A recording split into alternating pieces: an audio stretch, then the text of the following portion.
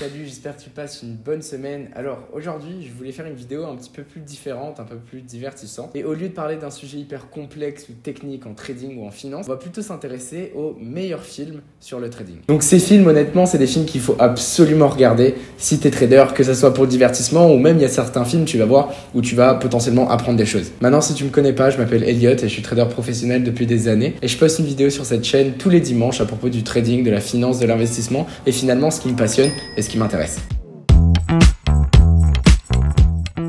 Alors commençons cette liste avec le premier film à propos du trading qui est super intéressant je trouve, qui s'appelle Trading Places ou autrement en français il s'appelle Un fauteuil pour deux. Alors qu'est-ce qui est intéressant dans ce film? Si je te le fais court en fait tout simplement, c'est deux frères qui sont richissimes, qui ont une société de courtage et ils ont donc des traders qui travaillent pour eux. Et un jour ils font un pari. En effet ils sont pas d'accord sur un sujet et afin de se départager, ils parient un dollar pour savoir lequel a raison. Et justement ce sur quoi ils ne sont pas d'accord, c'est qu'un des frères dit que les personnes qui ont du succès auront du succès dans n'importe quel scénario et les personnes qui échouent, systématiquement, tu peux les mettre dans n'importe quelle situation, au final, ils vont quand même échouer. Tandis que l'autre frère, lui, pense que même un gagnant peut finalement échouer si son environnement ne lui est pas favorable et celui qui a échoué au contraire pourrait réussir dans d'autres conditions. Donc quel meilleur moyen de savoir lequel a raison? Tout simplement ce qu'ils font, comme je te disais, ils sont à la tête d'une société de courtage, c'est qu'ils prennent un des traders qui travaille pour eux, ils le virent, ils lui font les pires crasses possibles et ils l'échangent avec un clochard qu'ils trouvent.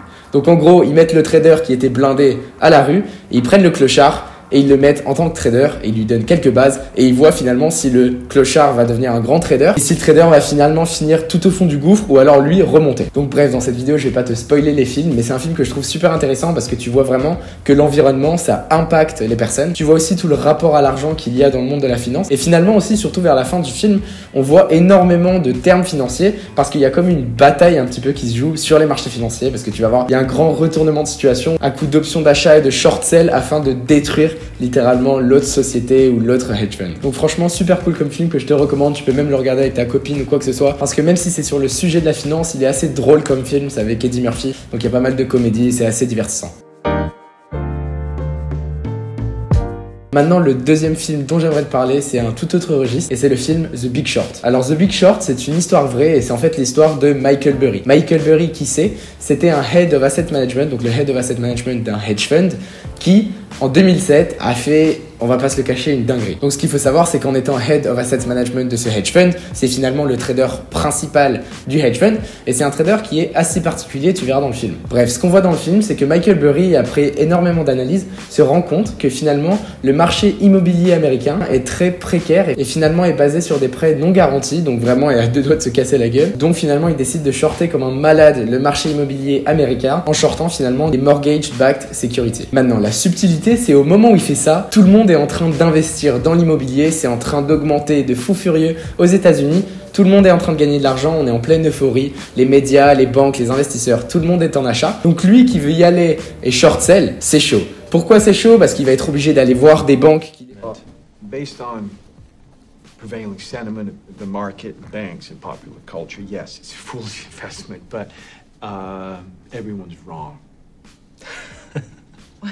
Les banques qui les banques vont évidemment lui dire vas-y short parce que pour eux c'est de l'argent facile ils se disent mais il est complètement dingue. Yeah, we're prepared to sell you 5 million in credit default swaps on these mortgage bonds. Can we make it a hundred million?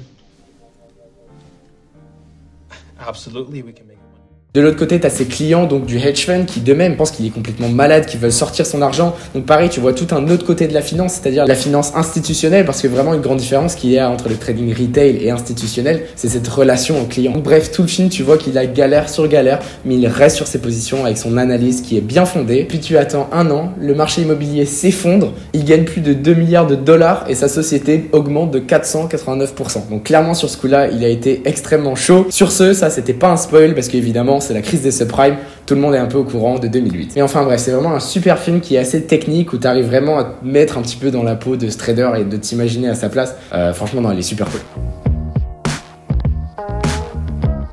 Donc maintenant, le troisième film que je recommande à tous les traders de regarder, c'est Wall Street. Et non pas le loup de Wall Street, mais bien juste Wall Street. Donc franchement, si tu l'as pas déjà vu, ce film, c'est un grand classique. Les acteurs, ils sont super cool. Il y a plein de phrases cultes. Donc pour te la faire simple, dans ce film, c'est un jeune courtier, un jeune broker sur Wall Street qui est jeune, plein d'envie et qui a envie de gagner beaucoup d'argent très rapidement. Qu'est-ce qu'il veut faire?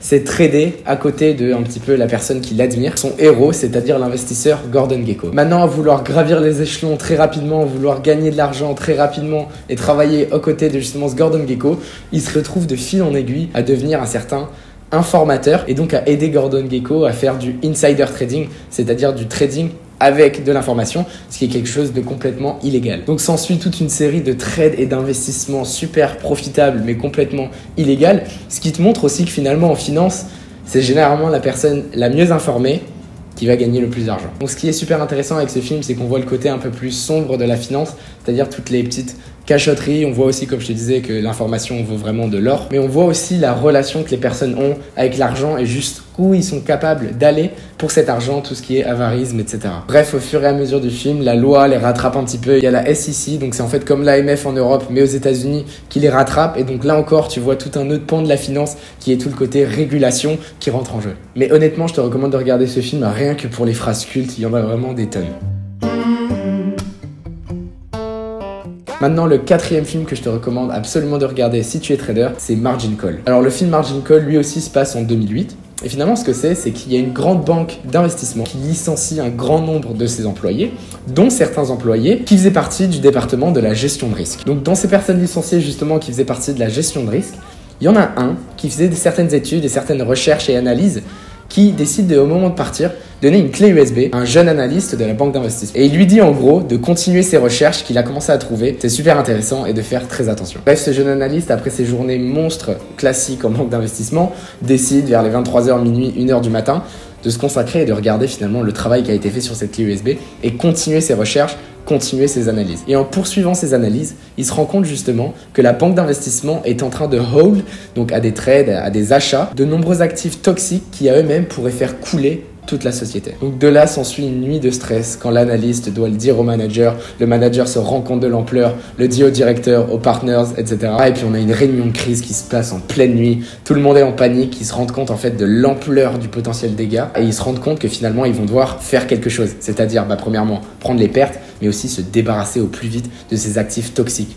Comment est-ce qu'ils vont pouvoir s'en débarrasser? Finalement, c'est en en vendant à d'autres personnes. Ce qui est clairement bâtard, c'est-à-dire qu'ils vont perdre la confiance de certains clients. Ils vont aussi devoir accepter l'erreur face à leurs investisseurs. Enfin bref, ici encore, tu vois tout le côté du trading et de la finance institutionnelle par rapport à la finance retail, c'est-à-dire toute cette relation qu'il y a au client. D'ailleurs, je ne l'ai pas mentionné, mais finalement, le titre, un margin call, qu'est-ce que c'est? C'est quand tu es dans un trade et que finalement, tu as plus assez de capital pour garder le trade ouvert, donc tu vas obligé de vendre soit cette position-là ou d'autres positions afin d'avoir assez de marge pour garder cette position ouverte. Et là, en fait, c'est exactement ce qui s'est passé à échelle absolument immense. Donc là encore, je te recommande vraiment de regarder ce film qui est probablement le plus technique des quatre, mais qui est vraiment super intéressant. Tu vas en apprendre plein de choses et surtout tout le côté relation client, tout le côté gestion de risque et comment faire justement pour couvrir une perte, sa réputation, etc. Dans ce film, il y a aussi plein de moments cultes, dont un qui pour moi est super intéressant et c'est le moment où justement le directeur, le CEO, raconte ce qu'il pense du système actuel. Et si tout ça c'était pour rien, alors tout ce qui est là aussi dans ce cas. 1901, 1907, 1937, 1974 et 1987. Là, je me suis fait vraiment bien avoir. 92, 97, 2000 et là, ce sera quoi, je l'ignore. C'est toujours la même chose, encore et encore, et ça, on n'y peut rien.